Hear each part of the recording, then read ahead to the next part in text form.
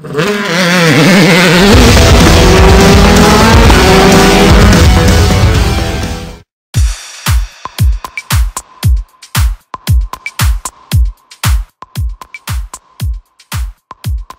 CTS.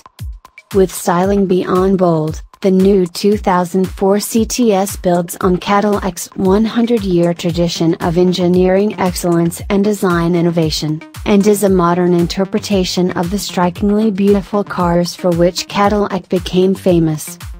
Fashioned from Cadillac's edgy, bold design vocabulary, its lean, chiseled body features sheer forms, sharp edges and crisp intersecting lines that at once honor Cadillac's storied past and look to the future.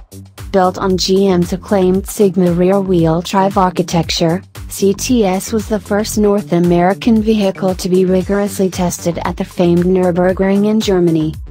For 2004, the automatic transmission CTS features GM's all-new 3.6 liters V6 VVT, variable valve timing, engine, new shocks and shock mounts will provide a softer ride without sacrificing performance, and a few interior changes debut.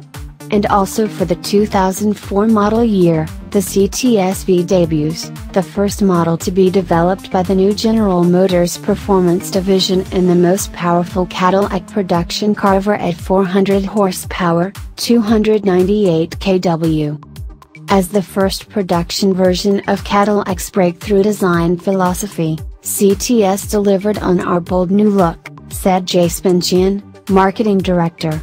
First year US sales were strong, at 37,976, well ahead of the 30,000 units projected for 2002.